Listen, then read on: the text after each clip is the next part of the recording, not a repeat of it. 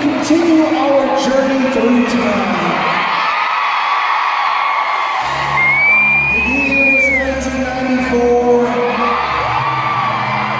and at least one or two of you didn't